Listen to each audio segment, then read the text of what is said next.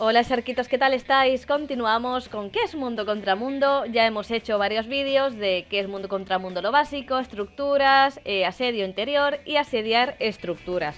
Hoy vengo a hablar de los campamentos. Los campamentos, igual que las torres, tienen tier, por lo tanto las mejoras van subiendo según acompañamos a las vacas, ¿vale? Dependiendo el número de vacas que han llegado a la torre, pues el campamento al final también sube su tier. Y por aquí no veo ninguno que esté subido, son todos de papel, es que es muy difícil, ¿no? Porque lo primero que estamos pillando cuando vamos de Roaming son los campamentos y luego las torres colindantes. Ah, mira, aquí veo uno. ¿Ves? Este campamento de aquí eh, está eh, asegurado. Es el tier 1. Pero vamos a empezar por lo básico. Normalmente tenemos un campamento vacío, no es un T1, no es un T2, no es un T3. Lo único que tenemos en este campamento vacío es el supervisor, el intendente y las vaquitas que no llevan ni escolta ni nada. Y tenemos 100 suministros.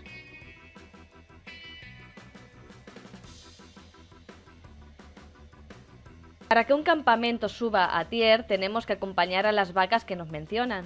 En este caso son 20 vacas que tendremos que acompañar, ¿vale? Cuando ya tengamos las 20 vacas, el tier del campamento sube. Es importante que algún jugador siempre esté escoltando alguna vaca. Igualmente con las vacas vamos a subir también los tiers de las torres. Por un lado y por el otro nos beneficia bastante, ¿vale?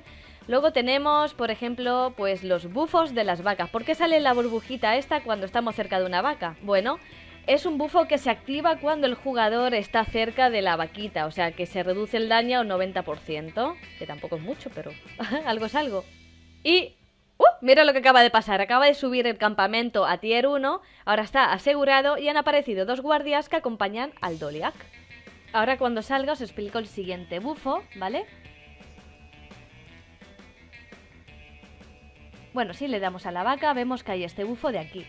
No se le puede atacar y se le activa con el activador este que os señalo.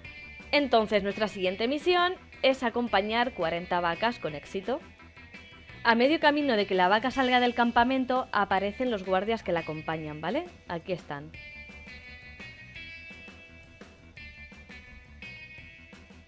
Si nos acercamos a un campamento T2, vemos que tiene ya los dos escuditos, ya está reforzado, ¿vale? Tiene muchísimos más guardias, tiene un poquito más de capacidad de suministros, de hecho creo que son unos 200. Con la mejora T2 lo que puedes hacer es contratar guardias adicionales el nivel de los guardias en vez de 80 subirá a 82 con un entrenamiento.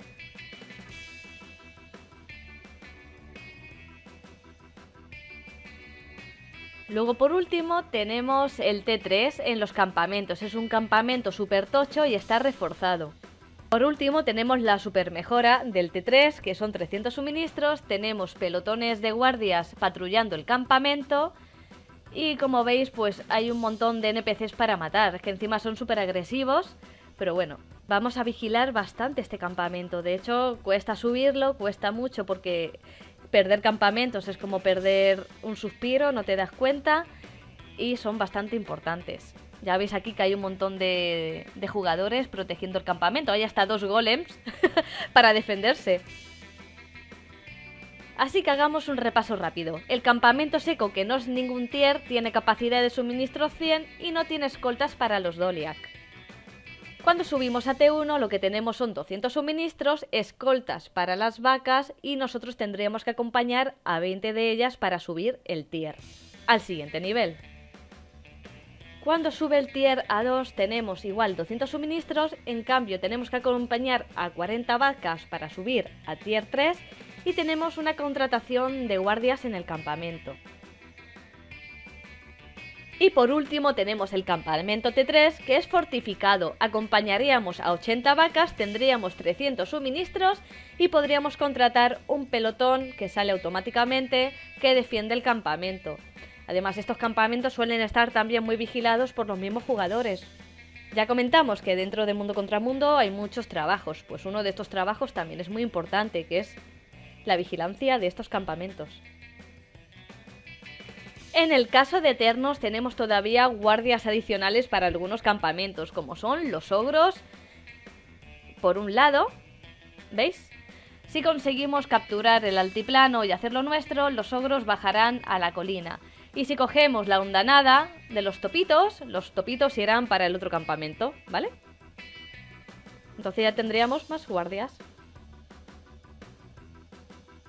Y por el otro lado tenemos la ensanada Creto Oscuro, que cuando capturamos el evento, eh, las ranitas que hay aquí irán a defender el pasaje. Y Golanta. es que ya son tantas cosas que ya me, me, olvido de todo. Pues ya hemos llegado al final de los tiers de los campamentos. Espero que haya servido de ayuda el vídeo y que todas las dudas que tenéis pues hayan sido resueltas. Nos vemos en el siguiente vídeo. Hasta luego.